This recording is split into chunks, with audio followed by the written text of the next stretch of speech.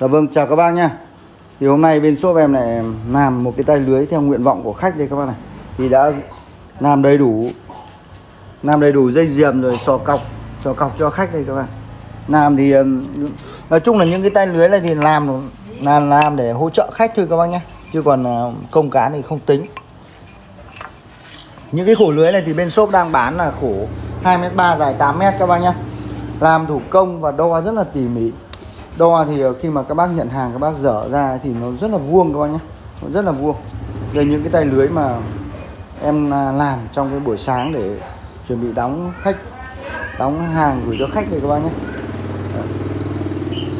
Thì ờ, đây là cái công đoạn hoàn thiện rồi. Chuẩn bị là gói gọn và gửi cho khách. Thì những cái khổ khổ này là khổ phổ thông ở bên shop đang bán các bác nhé.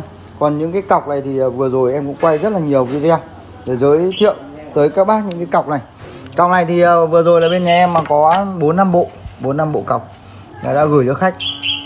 Hiện tại thì nó chỉ còn một hai bộ thôi 2 mét 3 các bác nào mà muốn mua những cái cọc phách mà nó khổ nó cao hơn ấy, thì các bác đặt trước các bác nhé để khi mà em đi rừng ấy, em đi rừng ấy, thì em có thể là lấy lấy để ưu tiên cho các bác những cái khổ này. Đấy các bác quan sát cái cọc này. Cọc rất là thẳng và dài các bác nhá. Đây khổ 2m3 rất là thẳng đây. Đấy, với cái công nghệ uốn ờ, được truyền lại từ thời các cụ nên là các bác yên tâm là khi mà uốn thì các bác dùng nó không bị nhả ra các bác nhá. Và đã xử lý qua nhiệt nên là nó không bị mối mòn. Ngoài bán ờ, những cái bộ phụ kiện hoàn chỉnh cho khách như thế này thì bên ờ, shop còn bán thêm cả những cái bộ phụ kiện rời các bác nhá. Ví dụ như là những cái tay lưới này. Tay lưới thì là đã đi diềm sẵn cho các bác rồi.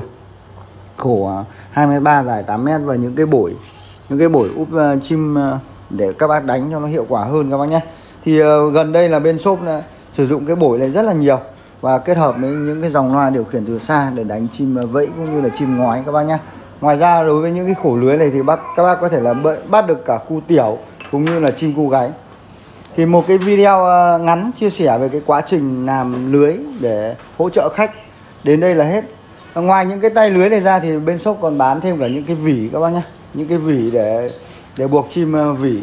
Rồi ờ, bác nào mà ở gần thì đến mùa, bên shop đã bán cả những cái con chim mồi, chim ờ, chim cu mồi đấy các bạn.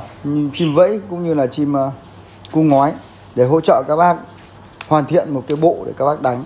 Video ngắn giới thiệu sản phẩm đến đây là hết các bác nhé. Xin chào và hẹn gặp lại các bác ở những cái video tiếp theo. Giờ thì bố em là cuốn lưới và để chuẩn bị đóng hàng gửi cho khách đây các bác này. Đấy. xin chào các bác.